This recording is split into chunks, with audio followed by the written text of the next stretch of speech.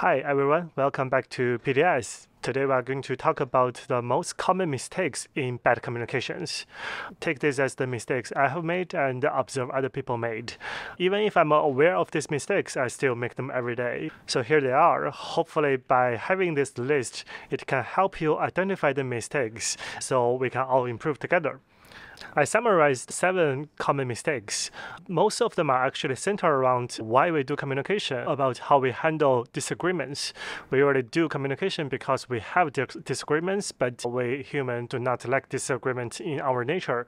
So we do all sorts of things to avoid disagreements, and it's very difficult to face disagreement with objective uh, attitude.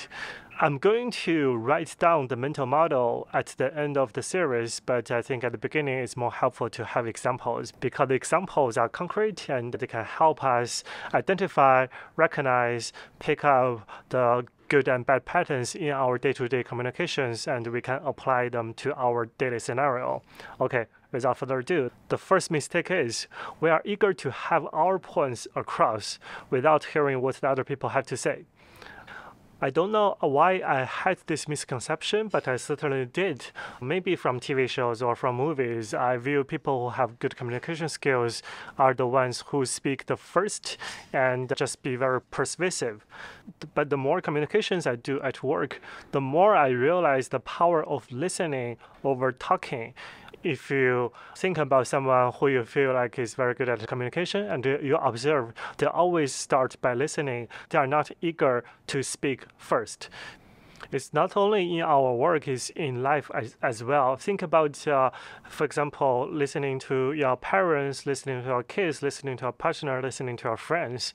How often do you uh, come to conclusions too quickly and uh, get your point across without uh, listening to what they have to say? I'm going to have a separate video, especially on this, and uh, that video is about how to influence without authority. So I won't expand in details. Let's go to the second point for now.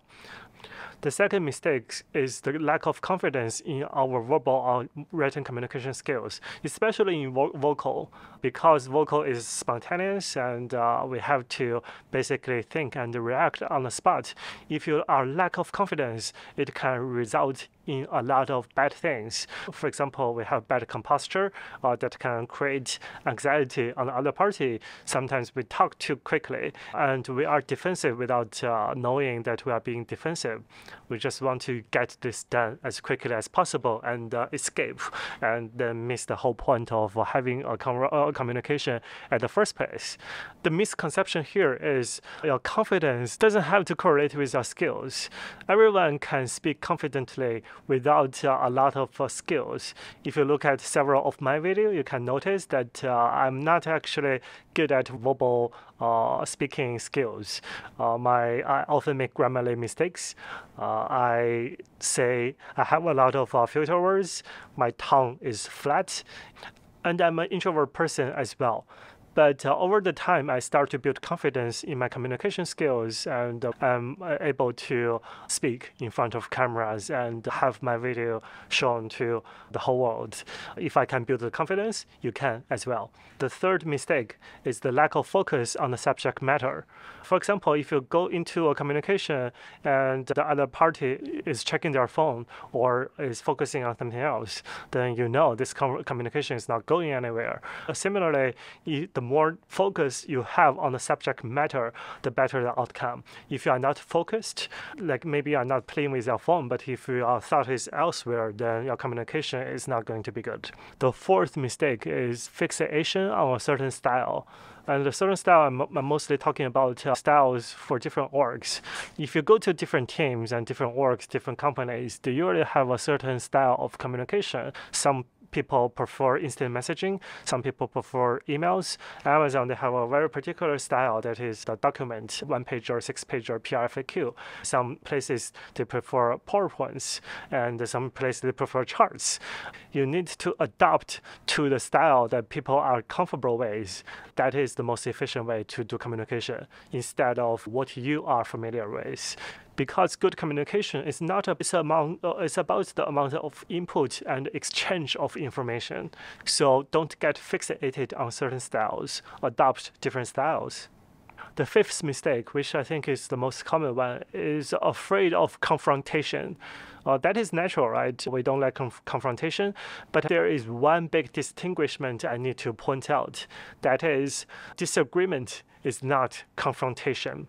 In communications, it is almost expected to have disagreements. When you have an opinion, guaranteed someone else would have a different opinion, different evidence, different facts, different perspectives. That's why you want to do communication. If you agree on everything, you don't actually need to do communication. But confrontation can be different because confrontation involves emotions. And emotions arise uh, often because we are bad at handling disagreements. So the tricky part is, in order to avoid confrontation, we have to be not be afraid of confrontation. If I'm not afraid of potential confrontation, we can actually look at our disagreement objectively and don't take it personally. Then we can have good com- composture, apply good communication skills, which I'm going to talk about in the next video, and uh, uh, address our disagreement, reach alignment, or at least agree to disagree. Then we don't need to uh, face confrontations emotionally.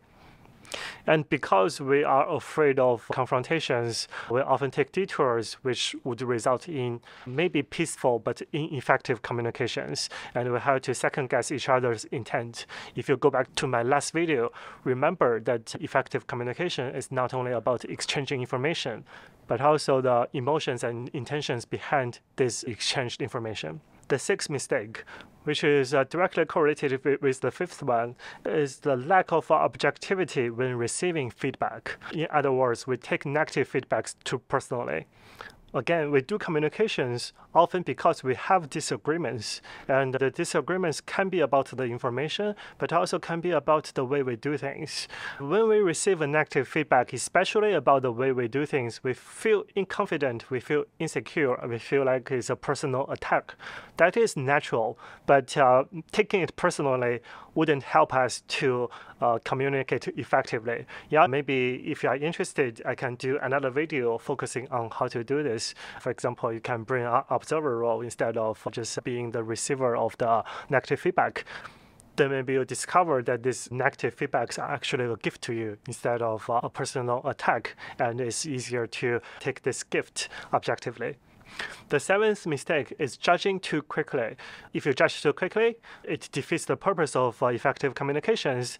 Also, your other party can perceive that you already made their judgment. It actually damages the trust and damages your relationship.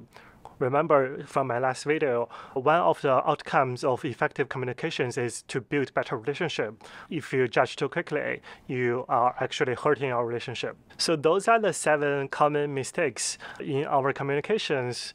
Hopefully I did an okay job with my explanations and you can take these seven points and check your own communication and see if you make these mistakes. Next video, we are going to talk about what are the keys to effective or successful communications. Uh, this is a preview, but uh, I always look forward to your feedback. Please leave your feedback or your questions uh, in the comments so I can adjust the content of my video to make it more useful to you. Thank you for listening. See you next time.